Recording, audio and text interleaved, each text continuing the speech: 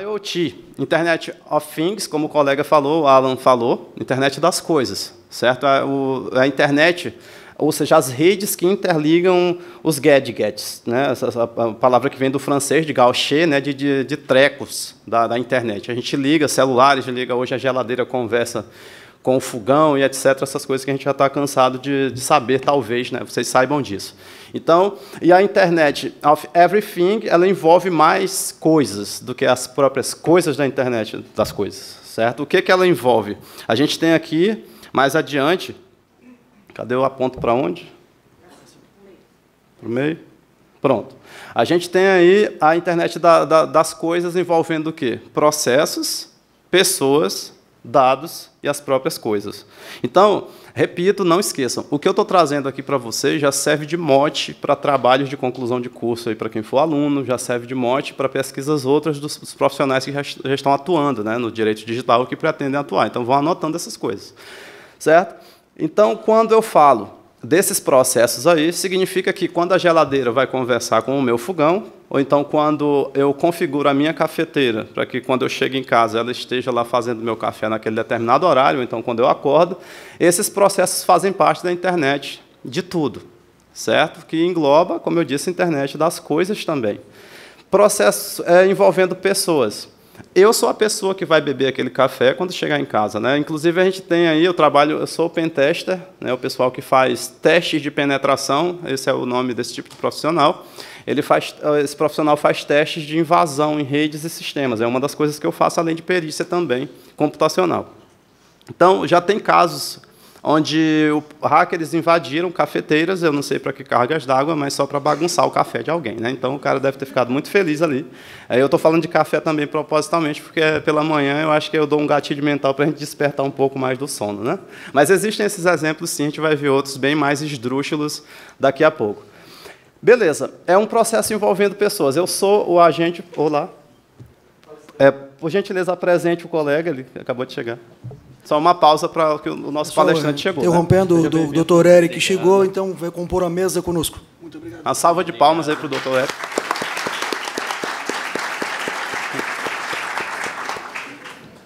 Então, eu estava acabando de comentar que o senhor vai falar sozinho, né, por conta do seu atraso. Estou brincando. Continuando. É, falava eu que as pessoas fazem parte desse processo e eu sou o agente que vai beber aquele café da internet das coisas de uma cafeteira conectada. Inclusive, recomendo é, para vocês logo de antemão, eu vou lembrando das coisas e vou soltando. Eu sou do Núcleo de Sustentabilidade da Justiça Eleitoral. Então, a gente estuda muito sobre sustentabilidade também. Dei uma pesquisada sobre lâmpadas de LED, lâmpadas conectadas à internet, é, smart lamps, né? as lâmpadas inteligentes, aí, que isso ajuda a natureza também. É algo que vocês vão desbravar, inclusive já tem casos de lâmpadas como essas também estarem envolvidas em casos criminais, certo? Na, na realidade, tudo isso aqui a gente sabe que o direito, o direito como lei vai tentando acompanhar os, os fatos sociais, né? Mas tranquilo. E outro exemplo de pessoas envolvidas nesse processo de Internet of Everything são o que a gente, é o que a gente chama de biohacking ou biohacking. Né? A gente tem casos onde as pessoas instalam um chip na mão, o Cláudio já deve estar com o chip dele ali, certo? Você injeta um chip que vai ficar na sua mão e você vai poder configurar esse chip para, por exemplo, abrir portas inteligentes, é, fazer pagamentos online, etc, etc. Né? Eu ia falar exemplos bobos aqui, mas fica em cargo da imaginação de vocês o que fazer com essa mão, com chip também. Né? Mas vamos lá. A gente vê um avião ali, que é uma coisa também. A gente sabe que os aviões hoje já têm conexão à internet, inclusive há casos de invasão a sistemas de aviação por conta de mau uso da tecnologia no tocante à segurança da informação que eu vou pincelar rapidamente aqui sobre. Mas falando de aviação também, nós sabemos que hoje um dos problemas que atingem a humanidade é a própria velocidade da tecnologia chegando, sendo derramada em cima de nós. É muito rápido isso. A gente tem drones, que é um exemplo cabível aqui, que podem, como já acontece, transportar, por exemplo, celulares, drogas para dentro de presídios, ou, enfim, fazer esse meio, meio termo. Tem pessoas espionando outras usando drones, isso aí também está no campo dessa internet de todas as coisas. E um termo, aliás, dois termos, são N termos, mas dois dos principais termos associados à internet das coisas e à internet de todas as coisas, é privacy by design e é security, by design. Certo? Eu não sei se o, doutor, o, professor Renato Leite adentrou nos meandros disso aí, mas eu posso falar de maneira técnica aqui. Vocês lembram da palestra do, do, do Renato? Ele chegou a falar sobre esses assuntos? Levante a mão aí para confirmar. Não, né? Então, tranquilo. Se for novidade, melhor ainda para vocês aí. Os meus colegas aí do Damaso já sabem o que, o que é isso, já com certeza já deram uma estudada. Eu vou falar só mais da questão técnica envolvida, embora a questão eh, legislativa seja muito interessante também, pesquisem a respeito. Privacy by design, design do inglês projeto, né, isso é um falso cognato, é, é projeto, não é desenho, é a privacidade ser levada em consideração durante todas as fases do desenvolvimento de um software. Aqui eu tenho colegas, inclusive estou vendo alguns aqui que já têm formação em computação e direito, e esse pessoal que estudou engenharia de software, que é o que a gente também estuda nas, nos cursos de computação, sabe que existem várias maneiras de você fazer a tal engenharia de software, ou seja, quais passos eu vou tomar para construir um sistema, para construir uma aplicação de celular, etc. E o Privacy by Design é um princípio associado à internet das coisas que preza pela utilização da privacidade desde é, em cada fase de construção desse software. Então, eu vou fazer análise de requisitos, que às vezes é o primeiro passo, ou seja, eu vou conversar com o meu cliente para saber o que é que ele quer resolver usando a computação. Então, a partir dali, eu já vou começar a elencar ali num papel ou num relatório digital tudo relativo à privacidade, para que o meu sistema já nasça com a privacidade embutida, tranquilo? Da mesma maneira, security by design. Muito se fala sobre esses dois. No, no, quem estuda direito digital já viu falar desses dois aí. Certo? Tanto da segurança por, no meio do projeto, quanto da privacidade já no meio do projeto. Mas é, pouca gente fala sobre privacy e security by default, ou por padrão. Certo? Uma coisa é você construir sistemas e internet das coisas é, usando esses dois princípios. Outra é você utilizar isso por padrão. O que seria isso? É para que já venha habilitado por padrão no meu, nos meus gadgets, nos meus dispositivos eletrônicos, tanto a privacidade quanto a segurança, de preferência no nível aceitável, para que o usuário vá decidindo o que fazer à medida que ele vai utilizando aquele dispositivo. Eu não sei se vocês notaram, com certeza sim, que versões anteriores do Android você dava 50 permissões logo de cara quando instalava a aplicação. Não era isso? Aparecia uma tela lá, eu tenho acesso à sua mãe, ao seu filho, à sua alma, né? aparecia aquele monte de coisas e você, claro, que dava um ok, porque aquilo ali é como se fosse, aliás, é um contrato de adesão, né? você não foge daquilo, senão você não usa a aplicação. Só que por conta desses princípios e de legislações outras mundo afora, a Google, é, que desenvolve né, o Android, por exemplo, eu estou falando de Android, mas outros sistemas se adaptaram a essa realidade também, eles tiveram que construir é, novas versões do Android, por exemplo, usando Privacy and Security by Design, onde agora você instala a aplicação, mas à medida que você vai utilizando, a aplicação vai perguntando, não é isso? É, é, essa aplicação agora quer usar a sua câmera, você aceita ou não? Aí vem aquela história, não adianta nada disso se nós não tivermos algo que eu não vou adentrar nesses meandros aqui, chamado educação digital. A gente tem que fazer uma nova é, um, um novo, digamos, jardim de infância em nossas vidas a respeito da tecnologia. Porque a gente simplesmente aceita. Uma vez, certa empresa norte-americana colocou, por exemplo, um prêmio lá, não me recordo se era 50 mil dólares ou era 100 mil dólares, para quem lesse os termos de uso do software lá. E passou-se seis meses sem que ninguém lesse, até que alguém leu. Aí estava lá escrito: se você está lendo isso, você ganhou o prêmio. Aí a pessoa ligou e ganhou. Ou seja, seis meses que ninguém lia, só instalava o software. Ou seja, enfim, educação digital, né? deixa esse gap aí para nós. Deixa eu acelerar o passo aqui, porque tem muita coisa para ser dita. É, o doutor David, lá de Portugal, está aqui presente, é uma honra enorme, inclusive. Ele tem falado sobre a GDPR, né, que é a, a, regulação geral de proteção de dados, que está agora mais ainda na mídia. E a gente tem nela o artigo 25 que já traz esses princípios, né, Data Protection by Design and by default, como eu falei para vocês. Inteligentemente, a Europa colocou isso já numa legislação que está atingindo serviços fora da própria Europa, por tratar de dados trabalhados na Europa. Né? Então, trazendo um pouco de legislação aí para vocês. Não é meu foco, vou trazer mais é, tendências. Cadê aqui?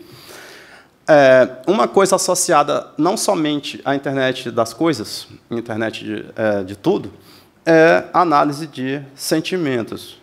Quem já ouviu falar disso, levante a mão, pode todo mundo agora, mas não vai ganhar mais livro não, infelizmente. Não tem mais livro para dar para ninguém aqui não hoje. Vocês vão ter que comprar mesmo. Eu sou, agora eu vou ficar mal, malvado.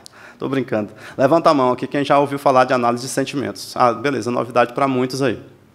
Análise de sentimentos, em parcas palavras, é você fazer pesquisas psicológicas. Aquelas pesquisas que a gente geralmente responde por meio de formulários, que muitas vezes a gente mente, né? Pra caramba, respondendo aquilo, e a gente ferra com o coitado do pesquisador, porque nem sempre você vai querer falar a verdade ali mesmo. Então, mas essas pesquisas clássicas, elas têm se transformado é, numa versão invertida. Em vez de eu mandar o formulário para a pessoa, eu mando um serviço para ela, como o Facebook da vida, e as pessoas vão dar um curtir, vão dar um, uma carinha triste, etc.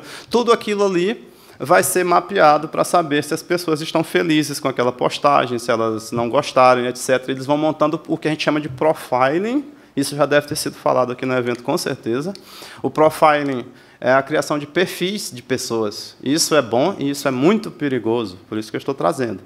É, a utilização de internet das coisas, de um fogão inteligente, de um tênis conectado à internet, de fraldas geriátricas com, é, conectadas à internet, a gente tem isso para saber quando o velhinho ali fez cocô e a pessoa tem que trocá-la no hospital, isso já existe, né? marca-passos conectados à internet, inclusive casos de homicídio cometidos via internet, porque você invade, por exemplo, um dispositivo médico hospitalar e você termina, termina levando, é, fazendo com que alguém seja levado a óbito, todas essas coisas juntas têm a ver com análise de sentimentos. Por quê? Porque eu vou, eu vou adequando, o bom da história é adequar os produtos. Né? As empresas vão tentando adequar seus produtos conforme o humor, conforme ali o comportamento das pessoas. Mas o lado ruim da análise de sentimentos está no exemplo aqui, certo? É, onde a Europa, o, a França principalmente, ela começou esse movimento, porque vazou de dentro do Facebook a análise de sentimentos usada de maneira não autorizada, não, é, pelo menos conscientizada para os usuários. Durante um tempo, eles pegaram vários usuários e ficaram fazendo testes, onde o newsfeed, todo mundo sabe o que é, simplesmente o, o, o alimentador de notícias, né, traduzindo ao pé da letra, do Facebook, é a tela principal onde surgem as postagens. Né? Aquele, o feed estava sendo utilizado pela Facebook para manipular sentimentos dos seus usuários. Eles, eles queriam saber se com certeza eles fazem isso, por óbvio, eu sou da teoria da conspiração mesmo. Né? Eles fazem isso, inclusive, para tendenciar não somente produtos, mas eleições, etc., etc., a gente sabe disso. O ministro da propaganda nazista, Joseph Goebbels, ele disse, ele foi um dos papas da propaganda, digamos, entre aspas, moderna, né? ele escreveu a respeito, inclusive, ele disse que a partir dele, as eleições seriam decididas pela propaganda, pela mídia. Se ele vivo estivesse, ele dizia que a partir desse tipo de coisa, desse tipo de tecnologia utilizada dessa maneira, decidir-se-ia qualquer coisa certo? Hoje a gente, nós somos o produto, né? Nós estamos embrincados no meio desses produtos. Por isso que a internet todas as coisas. Eu costumo falar, relembrando Karl Marx, não vou falar aqui nada a respeito de, de, de petista nem de nada aqui, por favor, certo? Karl Marx dizia que quando o homem pegou a enxada para começar a carpir ali um, um capim, aquela enxada é a extensão do próprio braço dele. A enxada já é o homem. E da mesma maneira, hoje, nós somos isso aqui. Alguém assistiu Jogador Número 1, um, Player Number One? Olha só, assistam, tá? É um filme, é novo, né? Ainda talvez esteja em alguns cinemas, que é produzido, não sei se, não lembro se dirigido pelo Spielberg, né? Dispensa apresentações, onde as pessoas é, vivem num mundo virtual é exemplo de, um, de uma plataforma que ainda existe chamada Virtual Life, onde você tem a sua vida virtual, só que é muito avançado lá no filme, e eu não sou um spoiler maldito, não vou contar nada do filme para não estragar né, a, o prazer de vê-lo, por, por, favor. Né? E quem souber também não conte, senão ficar muito chateado. Então vamos lá. Facebook investigado por manipular emoções de usuários. Pesquise sobre isso, assunto muito interessante, utilizando essa tecnologia para manipulação das massas, certo? Que pode ser feito por meio da internet das coisas, por isso está aqui. Uma coisa muito nova, aqui no Brasil eu ainda não vi ninguém escrevendo a respeito, peco por não ter escrevido ou escrito, conforme queiram usar o vernáculo, a respeito, porque não tive tempo ainda. É claro que é só, é só preguiça, estou mentindo para vocês, né? Mas é, seria interessante que fosse escrito sobre proxability. É o proxy effect. Proxy, no inglês, é procuração. A gente faz procuração, nós que somos da área jurídica sabemos o que é uma procuração. Hoje, o que está em voga no meio jurídico chama-se proxability lá fora. O pessoal está preocupado, inclusive Nova York já está entrando com um projeto, aliás, entrou com um projeto de lei, esse projeto de lei tende a se transformar numa lei, lá chamam de bill, né? que é projeto de lei, sobre isso aqui. É, procuração eu dou poderes para alguém fazer algo por mim, geralmente, não é isso? Então a gente tem feito, nós como humanidade, temos feito procurações com software. A gente tem colocado algoritmos para resolver as coisas. Tem decisões judiciais que estão sendo utilizadas, né, em conjunto com o ser humano, claro, como bem o disse o professor Alexandre Zavaglia ontem. Aí o, o, nosso colega Eric vai falar sobre isso, acredito também um pouco. Enfim, a gente está delegando à tecnologia decisões que antes eram humanas de forma inteligente, claro, para acelerar coisas que são repetitivas, esse é o lado bom da história. Mas o lado ruim da história é que nem sempre isso é bom para a humanidade. Por exemplo, você pode criar com isso um algoritmo totalmente discriminatório. Tudo bem? A gente tem o que a gente chama hoje de scoring credit. Tem alguém me ligando, vai ter que esperar, né? Enfim, na minha internet das coisas particular aqui. Enfim, a gente tem hoje credit scoring, ok? Deixa eu acelerar aqui que meu tempo já está curto. As pessoas são selecionadas para um perfil bancário, por exemplo, simplesmente por um algoritmo. Você chega lá, você está querendo comprar, sei lá, um, um Camaro, aí você vai lá no banco e você quer um empréstimo bancário. Em menos de cinco segundos você tem a resposta lá de um algoritmo. Não foi uma equipe do banco que viu seu, seu profile, seu perfil, foi o algoritmo. E Nova York, preocupado com isso, quer transparência de algoritmos lá para algoritmos públicos, tá? Eles não estão entrando na esfera privada, até porque isso fere outras coisas, como proteção da, da indústria, essas coisas todas. Mas, pelo menos, algoritmos utilizados na esfera administrativa de Nova York, eles querem transparência, que eu procuraria falar sobre isso com mais afinco em outra oportunidade, mas eu trouxe aí um link, que é da epic.org, anotem isso, deem uma olhada lá, não só nesse algoritmo Make Transparent, mas no site como um todo, é uma organização criada para a proteção da humanidade em relação à não transparência dos algoritmos, certo? Esses caras militam para que os algoritmos sejam transparentes. Lendo livros outros aí, autores defendem a transparência, principalmente o pessoal que não, não é da área técnica. Já o pessoal da área técnica diz que isso é quase impossível até porque a gente tem hoje algoritmos sendo criados por próprios algoritmos. Então são zilhões, bilhões de linhas de código inauditáveis, que a gente já deveria criar inteligência artificial para auditar. Aí essa inteligência artificial que audita, a gente vai ter que auditá-la também. Entendeu? Então começa essa corrida de cão e gato, onde a gente não sabe onde isso vai parar. Né? Vamos lá. Eu falei, eu fiz a pergunta, ninguém falou a respeito, vou falar brevemente sobre attention economy, que é a bola da vez. Se dizem que os dados são o dinheiro de hoje, né, o, pet, o novo petróleo, outros dizem que é essa economia da atenção. Por quê? Porque para que eu colete dados das pessoas, eu preciso fazer com que as pessoas utilizem meu software. E nasce aí a economia da atenção, que é a nova economia. Isso é muito novo, estudo é muito interessante. Tá? Ou seja, eu contrato profissionais da área da psicologia, isso já é feito desde os períodos de guerras, inclusive de guerras romanas, já era feito isso, certo? A economia da atenção em roupagens mais rústicas. Eu faço a reunião de pesquisadores da psicologia, da filosofia, da sociologia, para criar sistemas, criar produtos que façam as pessoas ficarem neles a maior quantidade de tempo possível. Já por relatórios que eu tenho lido, é comprovado que quando você entra no Facebook apenas para ver qualquer coisa que seja, simplesmente abre o Facebook para postar uma foto, a média mundial é que a partir daquele acesso ali ingênuo, você passe ainda mais uma hora na frente do Facebook certo? Você gastou ali mais uma hora numa tentativa vã de passar só uns 10 segundos postando uma foto, dependendo da velocidade da sua internet. Então, é, estuda-se isso. E esses impactos também são muito interessantes na área da própria ética, da bioética, do direito digital, porque isso pode também levar a problemas outros aí na esfera é, comportamental, de tendências, de manipulação também de sentimentos. Vejam como é interessante e perigoso ao mesmo tempo.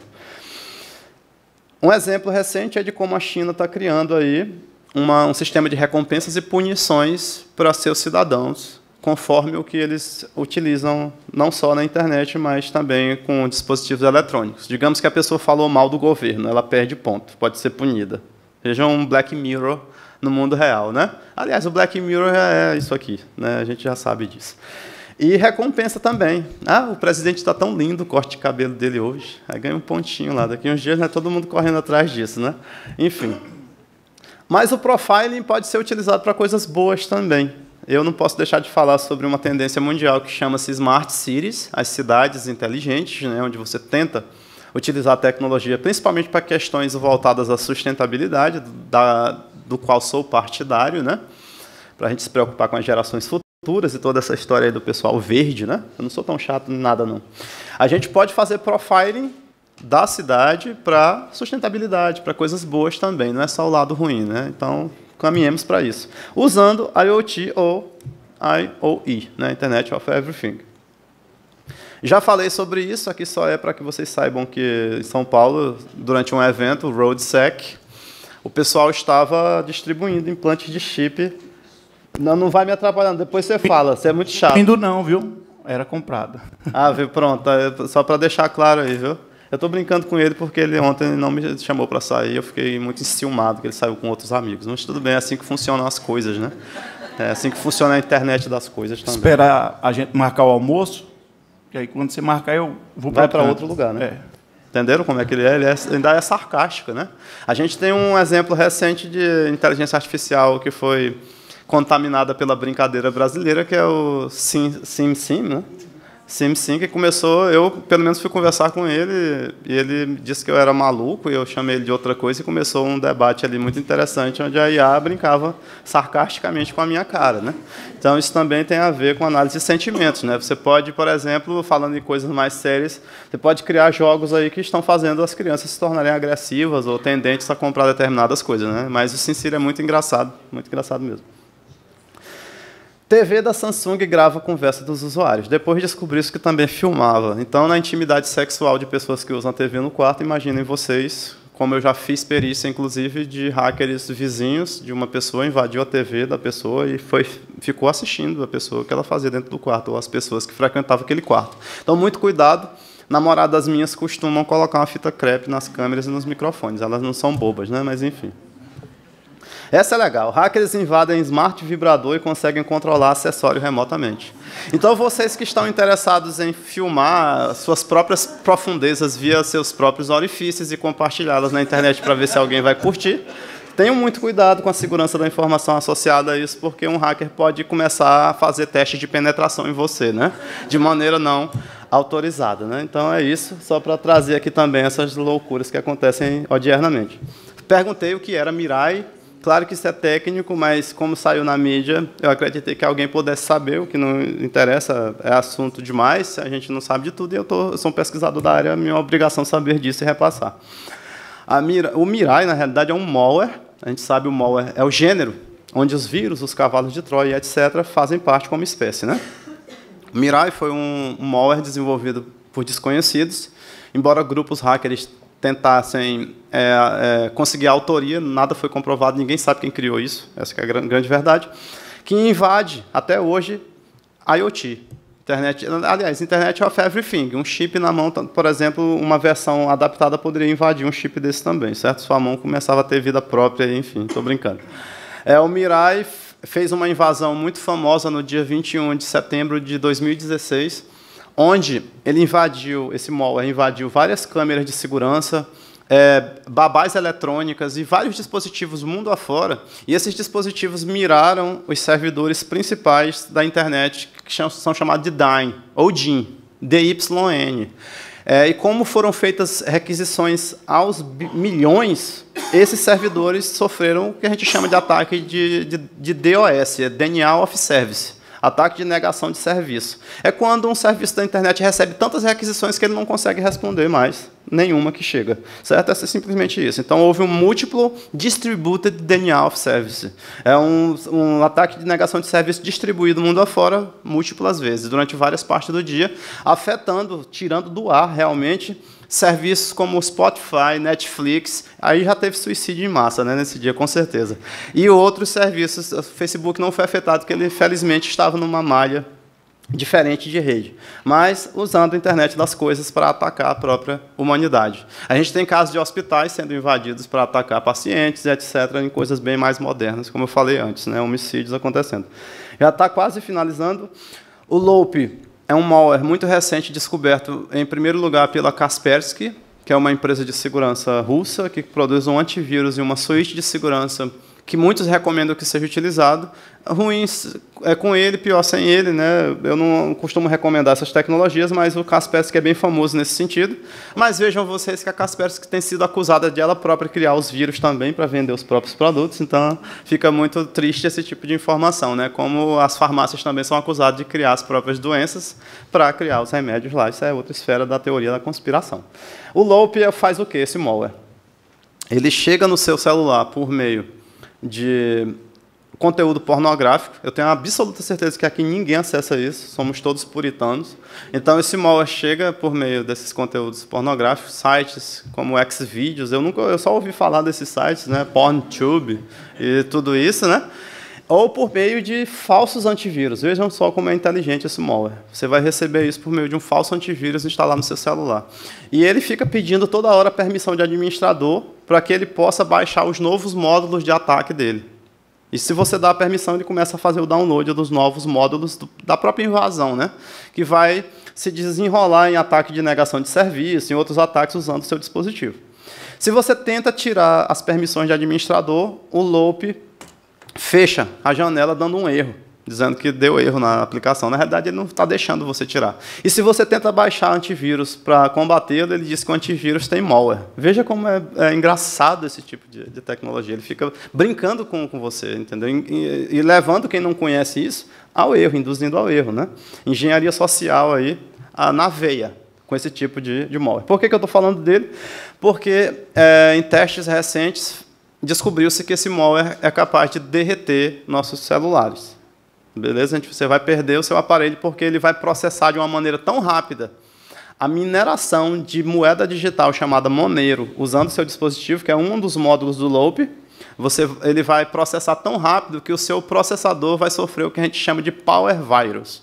É um vírus que utiliza o, a força elétrica, a energia elétrica do seu processador. E como nossos celulares eles não foram inventados para ser um, uma NASA ou um, um pentágono de segurança, geralmente esses processadores são frágeis para esse tipo de ataque mesmo, como são ainda.